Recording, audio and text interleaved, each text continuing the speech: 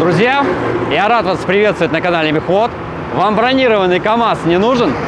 Смотрите, в прошлом инкассаторский автомобиль возил золотишко. От инкассаторского автомобиля осталась только кабина, ну и шасси. Шасси сзади здесь полноприводное. Кабина бронирована почти полностью, кроме дверей. Двери поставлены от штатного КАМАЗа. Здесь, как видим, в районе спальника металлические пластины вварены. Также металлические пластины установлены в передней части, довольно-таки тяжелые. Бронированные лобовые стекла. Здесь вставка ветрового стекла тоже бронирована. Раньше на КАМАЗе располагался кунг, в котором была встроена капсула из брони. Вон, кстати, кунг стоит в стороне. Вон там вот. Сейчас в капсуле вместо денег хранится инструмент. На КАМАЗе мы видим крановую установку, так называемую бурилку, установка японская. Давайте залезем на КАМАЗ, посмотрим, как устроено рабочее место оператора установки. Здесь у нас рычаги управления гидравликой, приборы, давление, градусы наклона. Работает крановая установка за счет вот этого двигателя.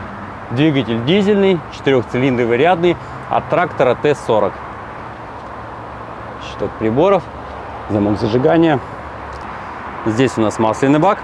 Кто знаком с трактором Т-40, знает, что на нем двигатель с воздушным охлаждением.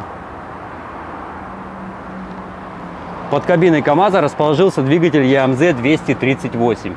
Это V-образный восьмицилиндровый дизель мощностью 238 лошадиных сил.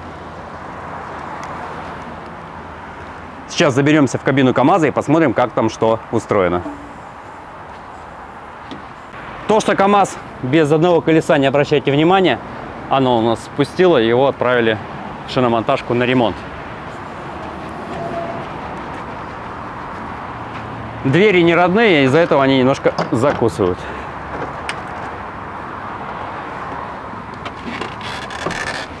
Вот так вот выглядит рабочее место водителя. Как видим, кабина КАМАЗа трехместная.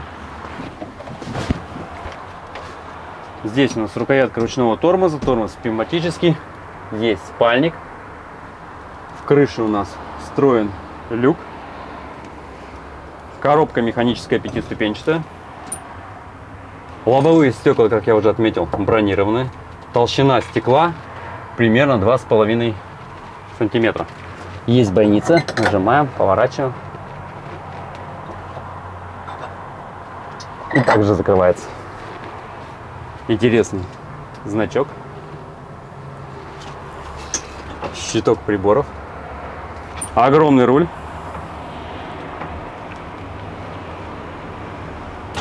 Вот такая вот, друзья, очередная интересная находка. В прошлом инкассаторский автомобиль, сейчас бурилка. На этом же у меня все. Вы, в свою очередь, пишите комментарии. До новых встреч!